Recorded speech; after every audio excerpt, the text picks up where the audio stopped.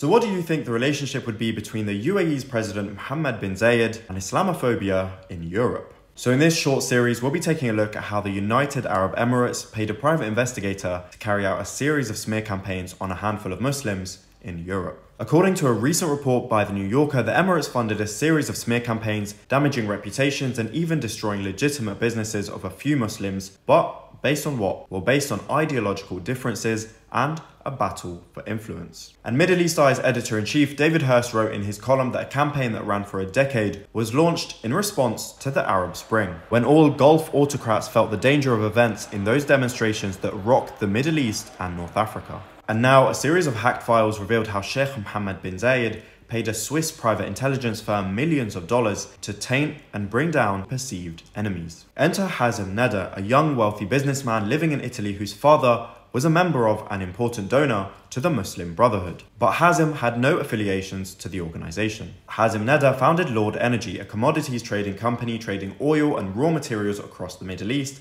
and Europe that was generating an annual revenue of $2 billion when it was brought down. The New Yorker reported that rumors started popping up alleging ties between Lord Energy and terrorism. And as a result, banks started to walk away from doing business with Lord Energy, telling them that the mere appearance of a terrorism link was too much for them regardless of the truth of the statement. But Hazem had nothing to do with any prescribed terror organization and suspected that a concerted effort of campaigns was being carried out against him and his company. But then a group of hackers in Europe approached him and revealed that a company in Geneva, Alp Services, was behind his defamation. Alp Services was founded by Mario Brero, who marketed himself as a specialist in offensive viral communication campaigns. The New Yorker wrote that the hackers sent Hazem Nada the internal Alp files, directing the operations to write articles calling him an extremist. And the hackers also revealed that the driving and financing forces behind these campaigns were not competitors in the oil trade, but Sheikh Mohammed bin Zayed, the ruler of the UAE. The New Yorker writes that the UAE hired Brero for the campaigns as one piece in its long-running feud with its neighbor, Qatar. Qatar and the UAE had differences that fueled hostility between the two that were heightened during the Arab Spring, including Qatar's hosting of notable Muslim Brotherhood figures, and of course being home to the Al Jazeera network, which amplified the call for democracy